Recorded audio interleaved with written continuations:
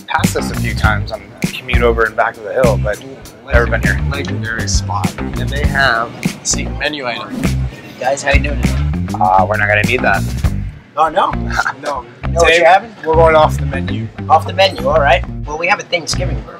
It's a turkey burger, thick bun, some stuffing, some cranberry sauce all on top of it. Instead of regular fries, we give the sweet potato fries, and uh, I think that should suit you. So Mikey Roe, we are going off the menu. Say that for me. We are going off. This is vodka, because at every Thanksgiving you need the drunk uncle.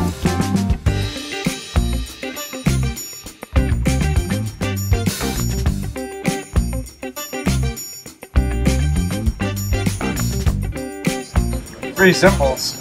It's Thanksgiving. Ah, The bun. I can smell grandma. Everything. You smell grandma? Yeah, she smells good. You know that grandma smell. Yeah. Yeah, she- you know when she's in the house, she's visiting. Yeah.